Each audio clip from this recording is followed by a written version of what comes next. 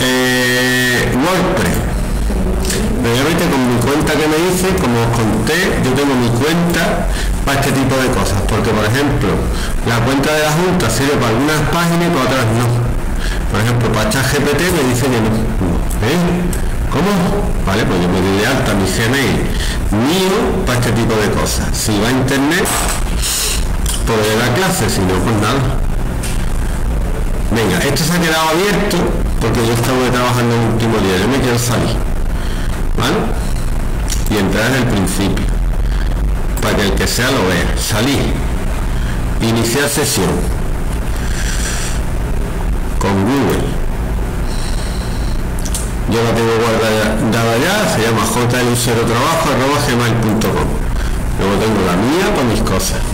Pero esta la tengo para darme de alta en 200.000 páginas que me tengo que dar de alta ahora de inteligencia artificial que me piden una cuenta y yo no me voy a la mía personal, tengo una para trabajo.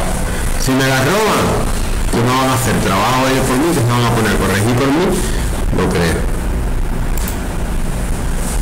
No entra, no pasa nada. Ah, mira, se entra. Menos mal.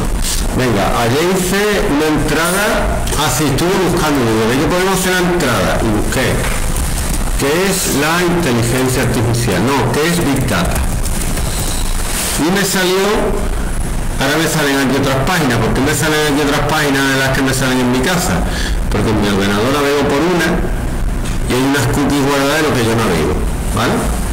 y aquí salen otras entonces para encontrar la página que yo, que yo busqué en mi ordenador no sé qué hacer, que es Big Data voy a poner resiliencia a ver si sale y que tiene que ver la resiliencia que no sé ni lo que es con eso Ahora voy a encontrar la página. Voy a poner gobierno de España. Y voy a poner en qué es Big Data, inteligencia artificial. Y os explico un poco los esfuerzos que quiere hacer el gobierno para esto. ¿Vale? Esta. Dice, ¿qué es la inteligencia artificial? Gobierno de España, plan de recuperación, transformación y resiliencia. Es un plan que se, se desarrolló durante el COVID porque hace falta recuperación, hace falta recuperación, transformación, y alguien me puede decir que es la resiliencia.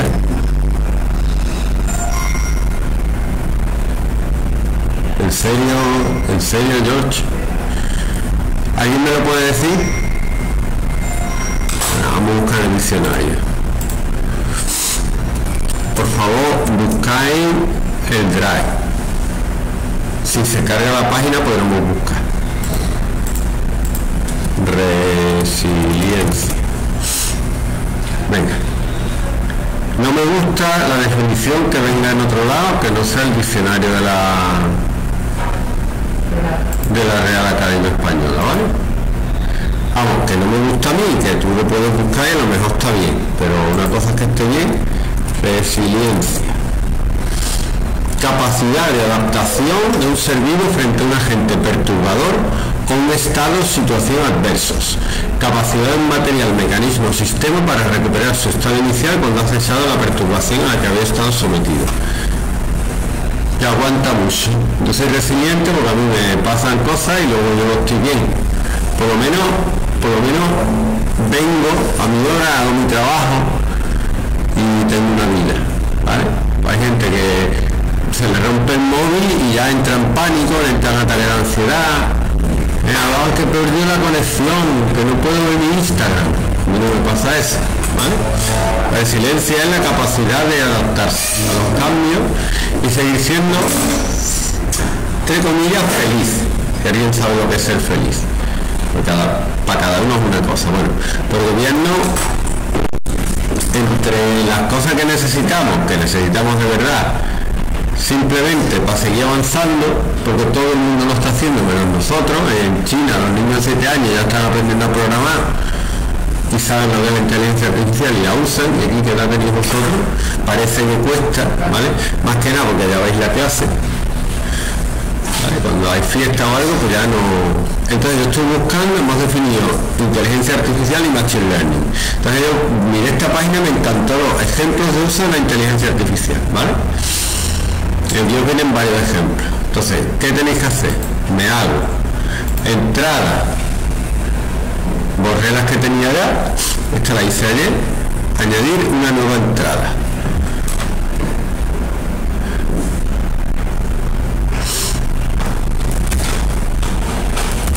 Ejemplos de uso de la IA. Cosa que no podéis hacer vosotros, lo que yo voy a hacer ahora mismo. Tenéis que buscar otra página con otro ejemplo. Y no vale copiar. Bueno, eh, cosas de, de los bloques. La IA es un nuevo apasionante campo en la el desarrollo de la tecnología. Aquí tienes algunos ejemplos en los que se está usando. Bueno, una lista, ¿cómo se hace una lista? Si queréis meter un bloque, le dais aquí, lista, le dais aquí y empezáis a escribir. Ejemplo 1, ejemplo 2, ejemplo 3, ¿vale? Si os ponéis aquí podéis cambiar tipo de lista, a ver si me acuerdo, puede cambiar, ¿no?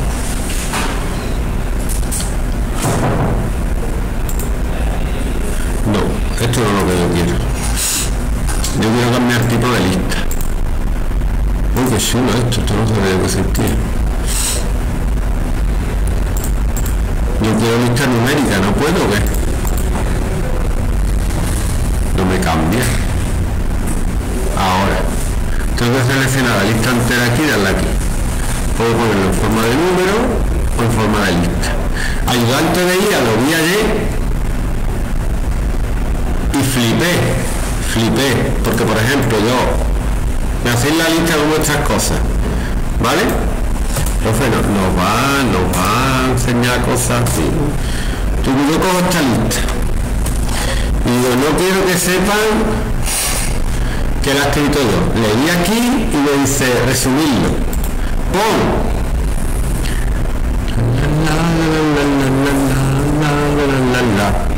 Claro, yo no estoy aprendiendo nada. Yo no estoy aprendiendo nada, ni siquiera lo he leído. Entonces esto es exactamente lo que tengo que hacer. Ahora lo voy a leer. ¿Vale? Venga, uno, compras por internet. Ahora a ti te dice lo que vas a comprar o prevé lo que vas a comprar con lo que has comprado antes. ¿Vale? Lo, si tú veis en Amazon o en AliExpress, os sale debajo compras parecidas, compras similares, sale lo que vaya a comprar. Eso funciona con IA, ¿vale? Eso coge los datos de mil millones de personas que han comprado antes que ustedes y prevén, según lo que esas personas han comprado, lo que tú vas a comprar después, porque si tú, por ejemplo, ejemplo, yo compro, me meto en, en AliExpress y compro la peli de Star Wars, un traje de un guante Novi, eh, ¿qué más? Eh, un Baby Yoda. Pues ellos ven en la base de datos, todo el mundo ha comprado esto, lo ha comprado esto, me dicen, tú vas a comprar esto, después aciertan poco, con mucha probabilidad porque saben 20.000 casos de gente que compra cosas parecidas, ¿vale? Motores de búsqueda. Dice, los motores de búsqueda utilizan la IA para aprender de los datos proporcionados por los usuarios y ofrecer resultados de búsqueda relevantes. Las cookies, cuando dicen, ah, este sitio guarda cookies. Lo que guardan, por ejemplo, las, las búsquedas que yo he hecho, y si yo busco mucho Star Wars, por ejemplo, si yo busco regalos de Navidad, me va a poner en vez de Barbie, que me podría poner Barbie, me va a poner primero regalos de Star Wars mezclado con otras cosas, pero de Star Wars seguro, porque me gusta mucho Star Wars y él lo sabe. Asistentes personales digitales. Bien, programa de traducción de idioma. Yo estuve, tengo un libro aquí en gallego y con ChatGPT lo traduzco a español perfectamente, ¿vale? Pero no lo traduje, si se podía y sí. El problema que tenía ChatGPT es que PDF no puede pasar. No sé si sabe lo que es un PDF. ¿Sabe lo que es un PDF? Un formato, entonces eso no lo lee. Yo no le puedo pasar PDF a ChatGPT y que me lo produzca. Pero él mismo digo, ¿y qué hago? Me dice, mira, pásalo a Word con tal página, pásalo a texto y luego me lo mete y ya te lo traduzco, efectivamente.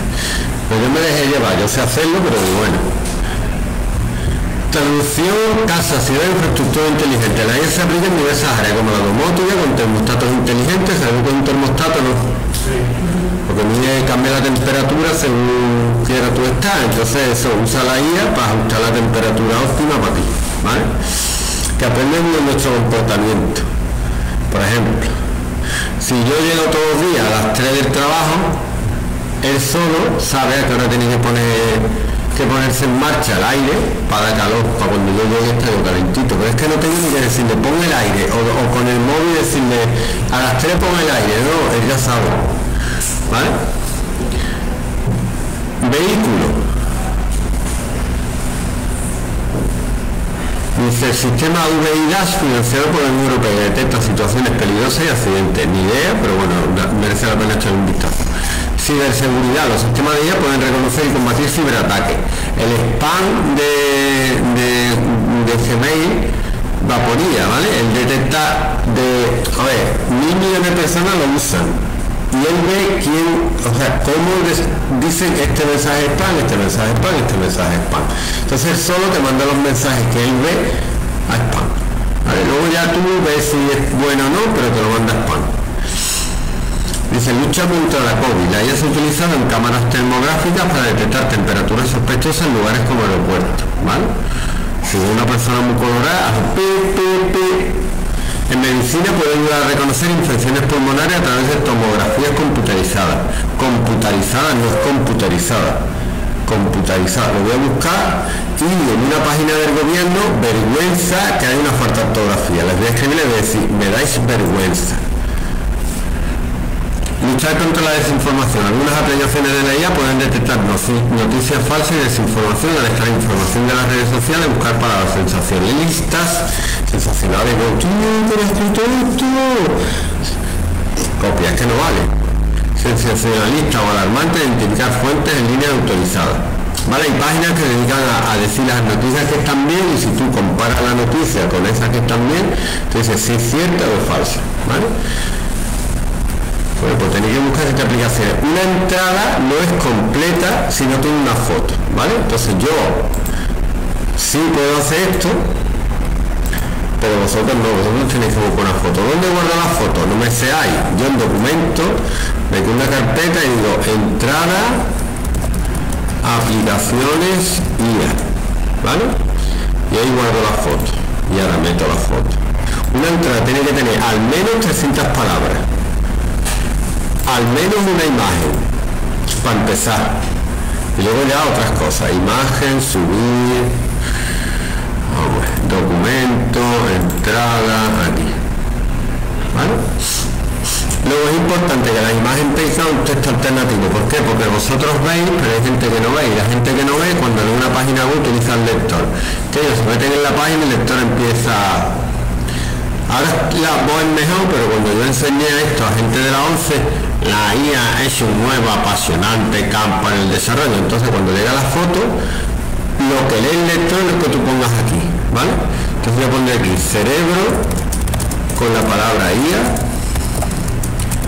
rodeado de aplicaciones de la misma, como domótica, traducción, motores de búsqueda, asistentes virtuales, Tú no te das cuenta de que esto es importante hasta que no, hasta que o tú te quedas sin vista o conoces gente que se queda sin vista. Entonces tú dices, eh. Bueno, esto tiene derecho. Yo voy a poner aquí gobierno de España. Voy a hacer que venga Perro Sánchez y me diga, eh, te voy a denunciar. No, no me denuncie. Si no encontré ninguna imagen, ah bueno, sí, lo último de hoy aplicaciones de la IA, ¿vale? Em, imágenes, no me valen todas las imágenes. Herramienta, derechos de uso, licencias Creative Commons. Estas sí las podéis usar, otras no las podéis usar. Porque tienen derecho. Que queréis poner, no sé, algo que tenga que ver con la IA, la verdad es que no...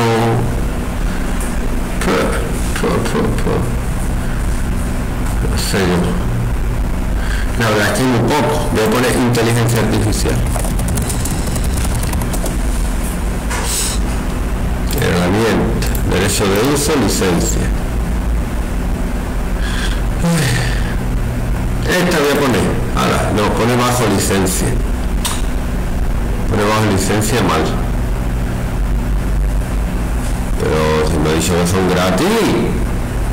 Ojo. Bueno, voy a ver qué tipo de licencia es. Mira. Vale, esto se puede usar. Un día veremos qué las licencias y por aquí copyright CC by NCN 240. Pero yo si quiero usar esta foto tengo que copiar esto y ponerlo en la página. Porque tengo que dar atribución. Atribución es que se diga quién lo ha usado, ¿vale? O sea, quién lo ha hecho. Si pones atribución, lo puedes usar. mi vídeo lo puede usar quien quiera, siempre que pongo que lo está. Además sale mi enlace, sale mi nombre, a mí no me preocupa eso demasiado. Una foto, otra foto, otra foto, bueno, voy a meter, ya que estoy imagen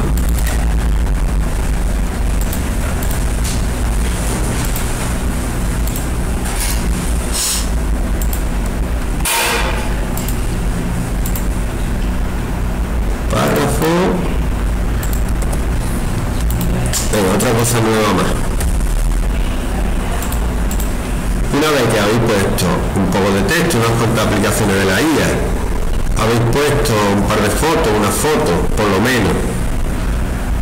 Voy a publicar la entrada. Para publicar la entrada hay que poner un extracto. Un extracto cuando buscáis en Google no sale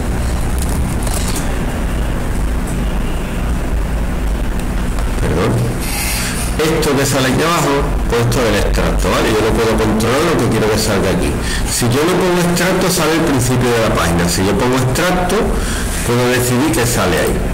Puedo decir que quiero que salga así el principio. Que va a salir lo mismo, me da igual, pero yo sé lo que es el extracto. Entrada, extracto. Va muy rápido. Lo que hay en la vida real es lo que hay, ¿vale? Categorías, pues ya tenéis que hacer categorías. Yo tengo tres categorías, Big Data, Inteligencia Artificial es mi categoría. Añadir nueva categoría, pongo la categoría, le doy a aceptar, sale aquí. Esto es, son cosas generadas de inteligencia artificial. Etiquetas. Las etiquetas son palabras clave que Google usa para indexar el sitio. Por ejemplo, aquí pondré inteligencia artificial. Y en Monterrosa. Compras. Pondré algunas aplicaciones motores de búsqueda, asistentes personales, traducción de idioma, suficiente, ¿vale? Mi hombre. Entonces Google va a usar eso para indexar el sitio. Cuantas más palabras claves tenga que tenga que ver con su contenido, mejor. Imagen destacada. La imagen destacada una de las que habéis metido en el sitio, no os vaya a comer la cabeza. La misma que habéis puesto tiene que salir ahí. Algún año de esto saldrá. Esto mejor. Insertar. Ya está. Publicar, publicar. ¿Algo más? No, ya está. Y lo que me quería mandar es esto. La dirección, que yo la introduzco aquí, y queda así. ¿Vale? Esta es la imagen destacada que sale arriba y si, lo si se comparte en algún sitio la imagen destacada es la imagen que se usa. El texto, la imagen, hay una cosa más que se me ha olvidado. Imaginaros que yo quiero llevar a la página esa donde coge la información. Esta información ha sido obtenida de